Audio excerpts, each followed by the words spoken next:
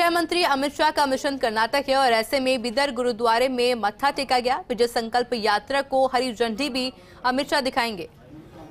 और देखिए, कर्नाटक से तस्वीर आप देख सकते हैं, जहाँ बीदर गुरुद्वारे में मत्था टेकने के लिए अमित शाह पहुँचे हैं। और ये सीधी तस्वीरें कर्नाटक से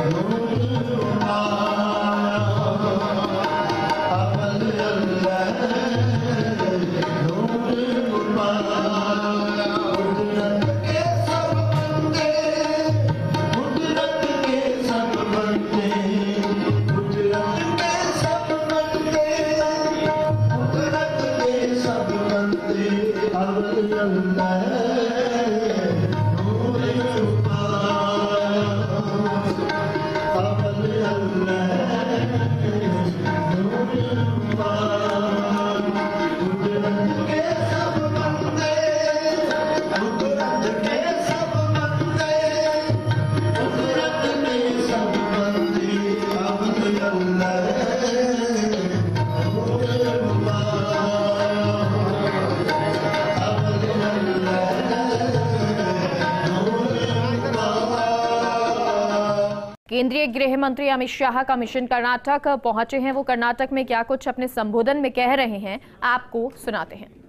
ने आर्टिकल 371 जे को रिलीजियसली पालन करने का काम किया है। हमारी सरकार ने पहले तीन हज़ार करोड़ रुपया दिया था स्पेशल पैकेज, और इस बजट में ज़ोर से ताली बजाना। इस बजट में बसवराज जी ने पाँच हज़ार करोड़ रुपया देने का काम किया।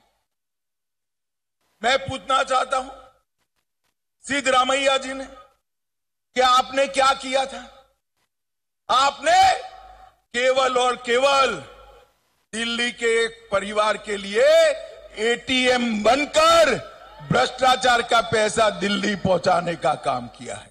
मित्रों, ऐसे लोगों को मौका नहीं चाहिए मुझे बताइए, राजनीति के अंदर, लोकतंत्र के अंदर, किसी भी पार्टी पर एक परिवार का कब्जा होना चाहिए क्या?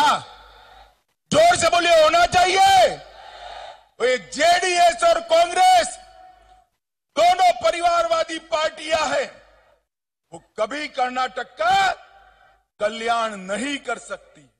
और मित्रों, ये जेडीएस को तो जो दो पच्चीस, तीस सीटें मिलती है ना, लेकर सीधा कांग्रेस की गोदी में बैठ जाते आपका वोट वेस्ट जाता है, वेस्ट जाता है। हमने यहाँ पूर्ण बहुमत की सरकार बना।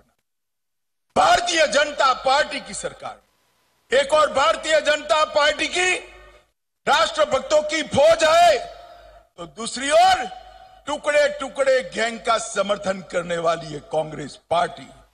एक और, हम यहाँ पर रानी अबक्का, मतकारी नायक और कैंपे घोड़ा का सम्मान करने वाले लोग हैं।